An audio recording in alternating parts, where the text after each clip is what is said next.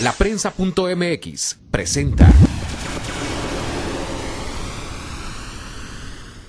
Pues yo les, agradezco más que nada el que hayan acudido a este llamado para ahora hacerlo de manera ordenada. Em, quiero pedirles el favor de su presencia de perdido una vez al mes para ir este, informando de todos los proyectos que estamos llevando a. Por ejemplo, eh, el mes pasado, tomando en cuenta la reflexión que les decía al principio acerca de la importancia de hacer cultura, eh, tuve a bien pensar en, un periódico. Esta es la importancia de, la labor docente, de la formación docente. Este periódico se hizo con recursos propios, porque dinero en la asociación ya no hay, este salió de mi bolsa, lo hice de manera muy sencilla, eh, pero este se está distribuyendo en las colonias populares. ¿sí?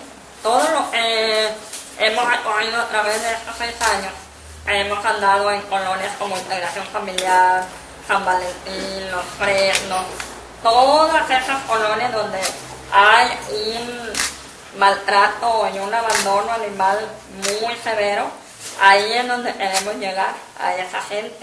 Y este periódico, el cual ahorita les voy a, proporcionar un número, este, está, está distribuyendo. Ahorita ya salió el número 2, apenas lo vamos a imprimir. En la próxima rueda de prensa ya les, daré otro número. El número 2, este, oriénteme. Muchas veces no es que la gente sea mala, lo que pasa es que hay ignorancia respecto al tema. Hay personas, por ejemplo, por eso puse como primer tema en lo de los ciclos reproductivos de las mascotas. Hay personas que no saben. Le regalan una mascota y no saben eh, que va a entrar el cielo y que se va a reproducir cada cuánto tiempo. O sea, no saben los cuidados básicos. Entonces, eso es muy importante hacer la cultura. Eh, hace como 15 días dirigiéndome a mi trabajo, tuve una vivencia con una yegua. Eh, venía yo con la Piña y venía un joven carretonero, pero le jaló la, la muy, muy limitado, muy forzado. Y ustedes saben que la yegua se está y este, derrapó y se cayó, cayó de costado.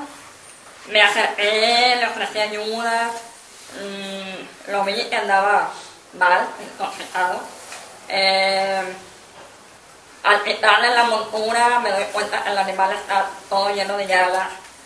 Entonces, ahí nació la, la inquietud por poner un poquito de más atención en los, en los animales equinos, ¿verdad?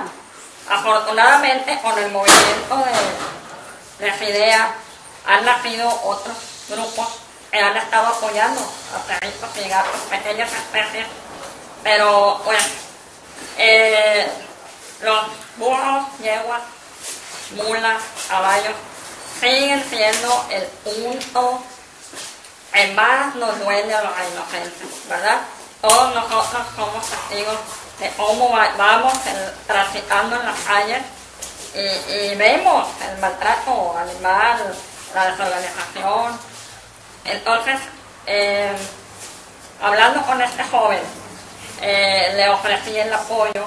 la familia de él, cuando llegamos a su casa, mostraba mucho temor.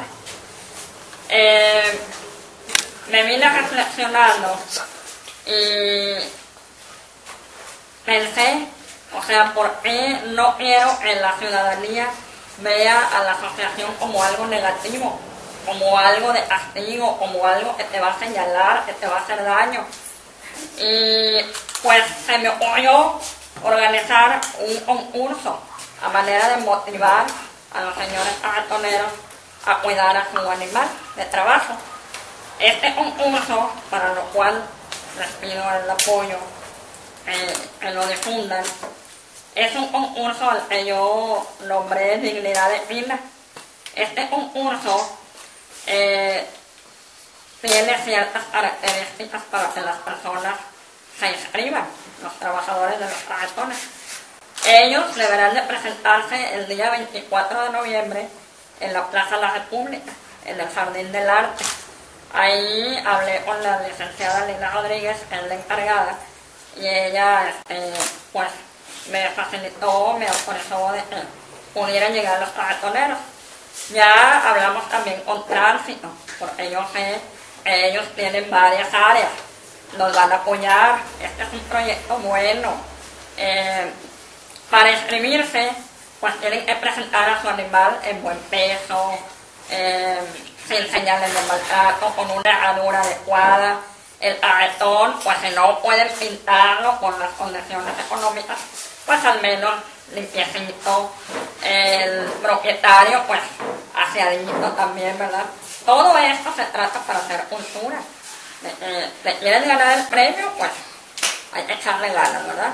Y los premios consisten, pues en primer lugar, el propietario se va a ganar mil pesos, un tratamiento veterinario para el animal y tres pacas de alimento. Eh, para el segundo lugar, el tratamiento veterinario, dos pacas y 500 pesos. Tercer lugar, el tratamiento veterinario, una paca y 250 pesos. Pero como les mencionaba anteriormente, como la página de Facebook eh, ha tenido mucha difusión, gracias a Dios, ya la gente se está sumando y ya ha habido personas que han ofrecido un poquito más de premios para que las personas en el lugar pues de perdido se lleven una pequeña despensa, algo, un detallito en los motivos y tratamos de que este concurso, el pensamiento es de que este concurso pues se haga de perdido, no sé, cada dos, tres meses y que ellos se sientan motivados. Esto es para nosotros hacer cultura, ¿verdad? Cambiar la mentalidad, mejorar nuestro entorno, tratar de que ellos, por decisión propia, decidan cuidar a su animal, ¿verdad? Y pues